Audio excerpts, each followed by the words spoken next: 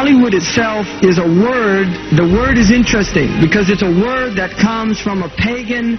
Uh, लफ्ज Hollywood बहुत दिलचस्प है ये लफ्ज दर हकीकत जमाना जाहियत से आया है।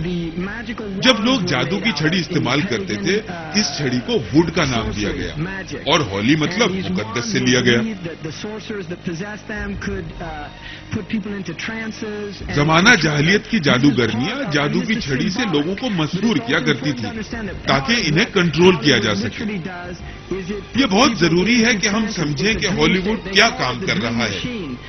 ये लोगों को मशहूर करके खाब जैसी हालत में ले जाता है।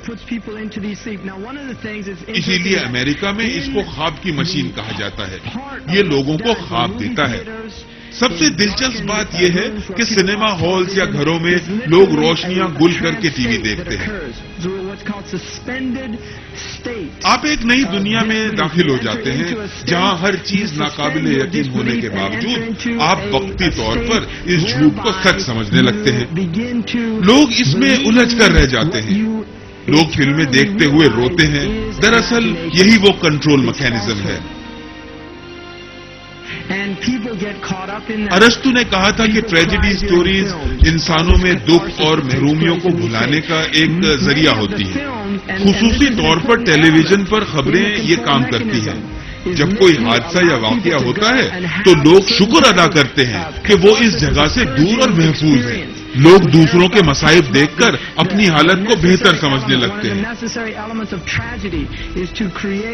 ये दर हकीकत एक शराब किसी सूरत हाल है।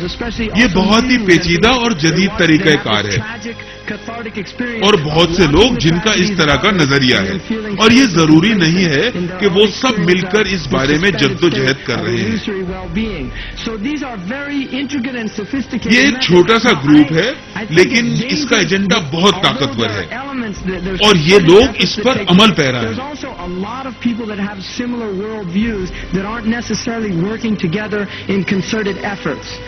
But the, the corporate elite is a very small group of people. They really are. They're, it's not a large group of people. And these people definitely have very powerful agendas. And they're working towards them.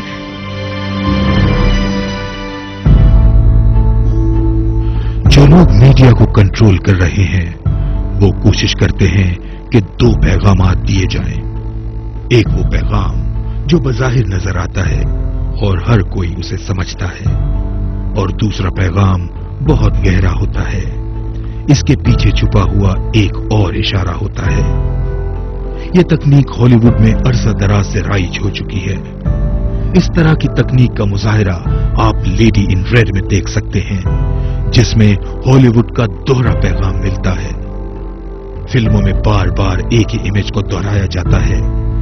Lady in red में नाजरीन के लिए खसूसी पैगाम दिए गए हैं। इसमें कलर का इंतखाब भी बहुत दिलचस्प है। क्योंकि सुर्ख रंग हमेशा से जिनसी जज्बात का मजहर समझा जाता है।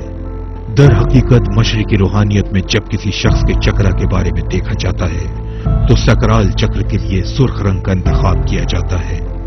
ये वो चक्र है जो रूहानियत के दर्जात में कम तरीन सतह पर पाया जाता है।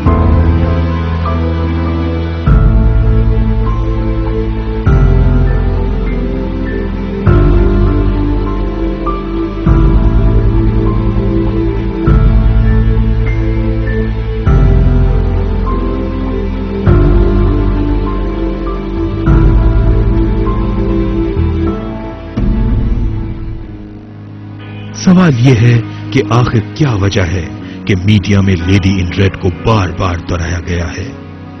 ये कोनी नेल्सन है, जिसने फ़िल्म डेवल्स एडवोकेट में लेडी इन रेड का रोल किया है।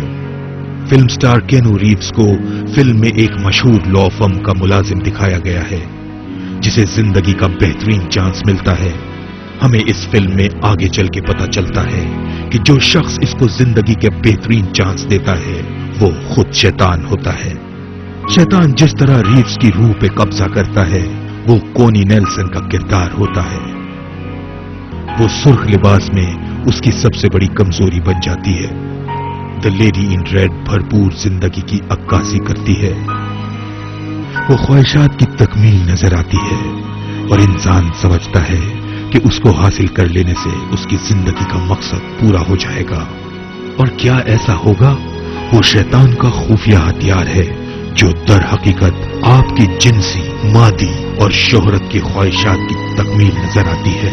उसके ज़रिए शैतान आपकी रूह पर गालिब आ जाता है।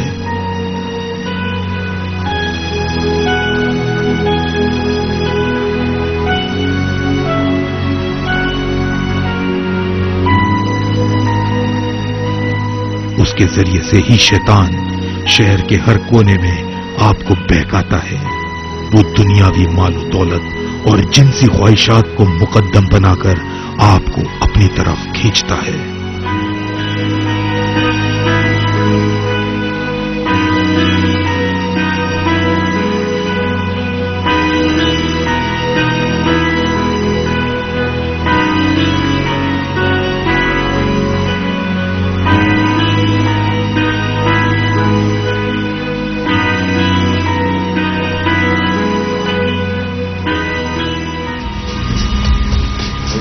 You listening me, Neo?